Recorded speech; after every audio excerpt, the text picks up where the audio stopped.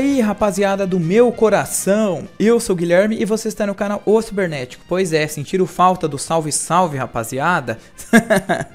Mas enfim, hoje estamos aqui com o iPhone 8, modelo nacional de 64GB, para um teste de jogos. E esse é um dos primeiros testes de jogos que eu estou fazendo em um aparelho da Apple. O teste de jogos geralmente que eu faço é comum em aparelhos Androids, Androids intermediários, já fiz no Moto G7, Galaxy J6 e diversos outros aí que vocês podem conferir depois.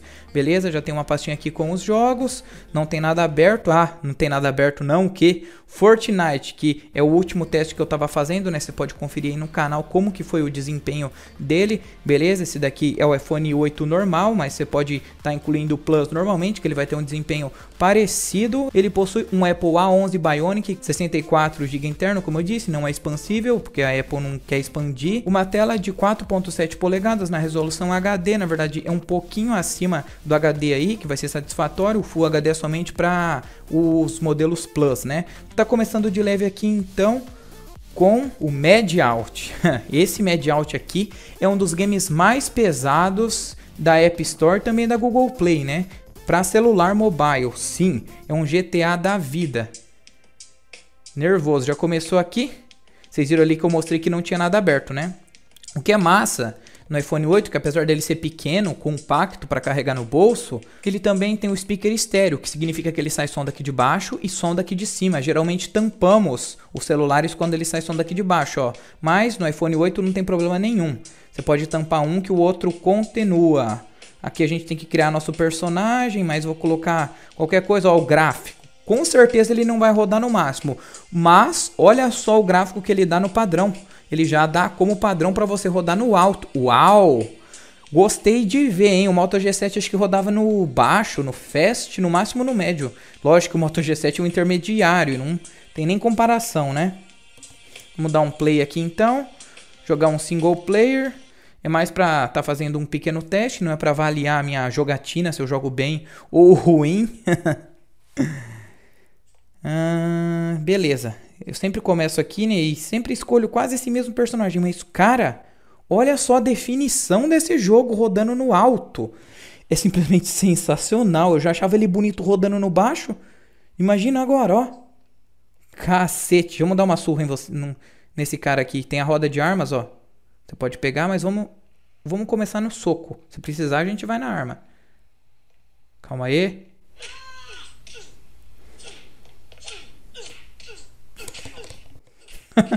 Ó o carinha passando ali. Você não vai passar, não. Nossa, deitei ele com um socão, igual o GTA.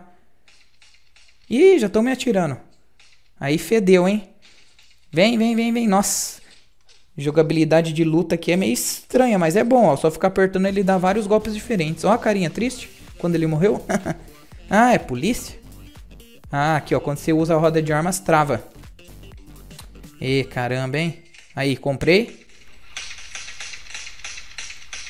Morre. Quando os inimigos morrem, aparece a carinha triste. Eu nem vou fazer missão aqui porque aqui é zoeira Never's End. Estilo GTA, né? Isso daqui lembra muito do bom e velho GTA San Andreas. Na verdade, mais GTA 4, né? Que o gráfico dele tá muito bonito.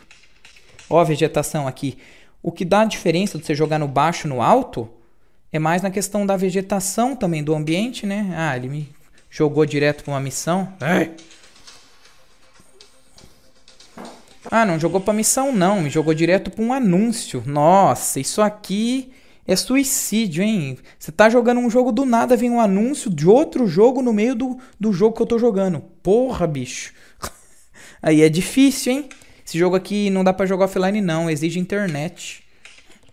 Mas é no estilo bem GTAzão, lembra até o Max Payne um pouco, você fazendo missão, vai na cidade. Nossa, só o cara aqui andando como se nada tivesse acontecido. Ô, oh, sou muito bom de mira, né? Nossa, o cara leva um tiro na cabeça e sai andando como se nada tivesse acontecido. Mas enfim, o pessoal sempre pede med out. Vocês viram aí então o resultado. Me surpreendi de verdade, porque nos outros aparelhos que eu testei, acho que até no Galaxy S6, alguma coisa assim, ele conseguiu um resultado bem abaixo. Bem abaixo mesmo. iPhone 8 tá show de bola. Beleza, então, chega de matança por hoje. Não façam isso em casa, crianças. Vamos testar o Gangstar 4. Na verdade, eu deveria ter começado pelo Gangstar, já que ele é bem mais leve que o Mad Out. Gangstar também é um jogo lá das antigas que eu jogava, que é bem pesado porque sempre está recebendo atualizações e o povo sempre pede para testar ele aí no canal. Já vem com Skrillex, né? Pô, aí não. Não vem com Skrillex, não. que aí eu tomo um copyright nervoso. Pô, propaganda do Game Center. Não, velho.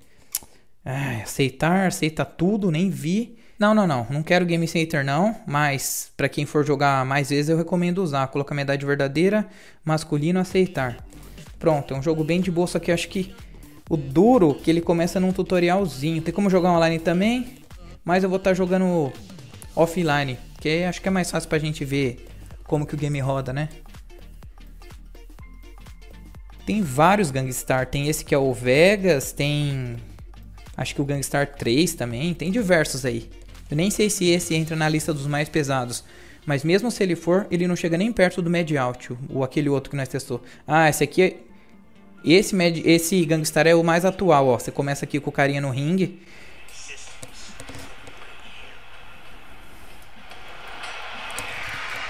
Vou estar tá pulando tudo aqui. Pelo menos passar desse tutorialzinho.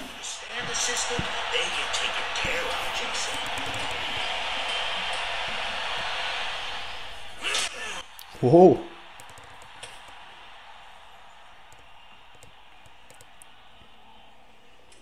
Vamos pular.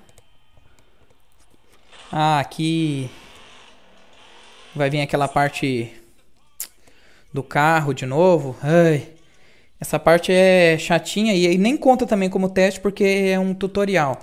Só que na verdade esse jogo aqui, cara, nem precisava contar porque vocês sabem que ele é bem leve, então não vai ter muito segredo aqui. O iPhone 8 vai conseguir. Eu sempre falo isso, mas repito. O pessoal fala que eu repito a mesma coisa nos vídeos, mas eu estou repetindo para inscritos novos, que ainda não viram os antigos. O que, que é? É que uma notícia que eu estava dando uma olhada um tempo atrás, não conseguiram ainda achar um aplicativo ou jogo que seja que use todo o poder de fogo, o desempenho do iPhone 7 7 Plus, que é o antecessor dele ainda, lançado em 2016. Esse daqui é o 8. Ele tem o Apple A11 Bionic, tanto que muita gente optou em pegar o 8 ou mesmo o 8 Plus do que pegar o 10, porque o 10 tem o mesmo design, quer dizer, caramba, o 10 tem o mesmo hardware, que vai mudar o design, né? Aqui você ainda tem o botão home, essas coisinhas aí.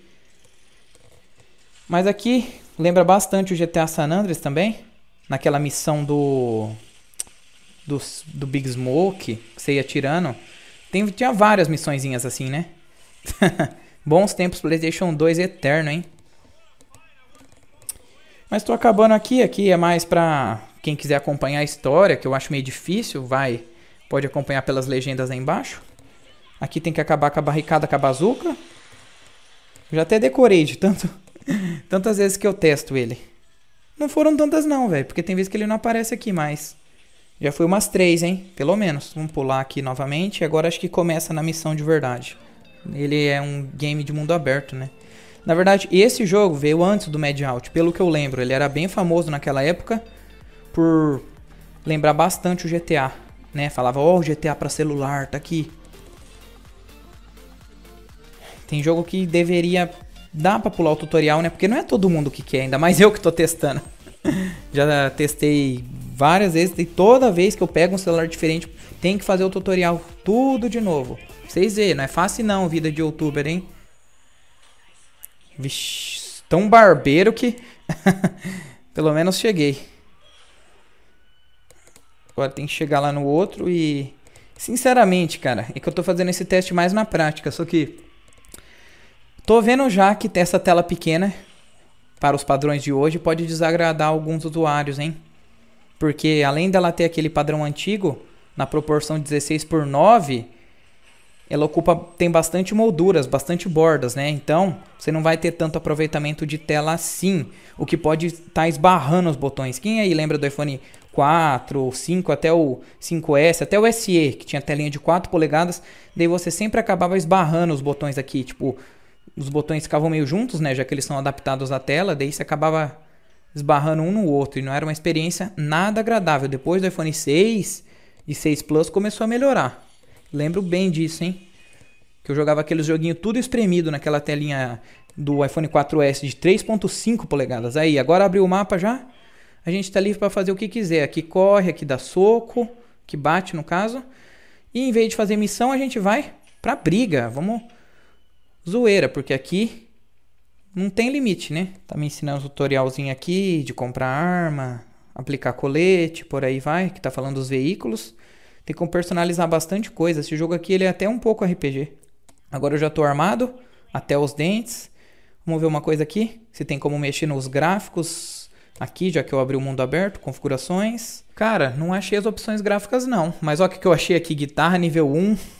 Tem umas coisas bizarrésimas, ó, comprar taco, ou eu lembro que tinha como personalizar, mas não lembrava que era desse jeito aqui. Será que isso aqui é atualização? Lógico que eu tô sem dinheiro. Pegar essas duas pistolinhas aqui. Ai, não. Não, não, não. Você viram? 37 reais. Pô, pay to win vai ser pay to win em outro lugar. Aqui não. Aqui não tem essa história, não. Vamos tá aqui. Agora arrebentando. Eu acho que tá no médio como padrão, hein? Se bobear até tá no alto. Oh, gostei, hein? Vamos agora na ar arminha.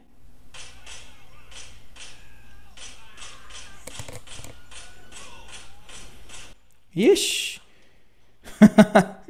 Olha só.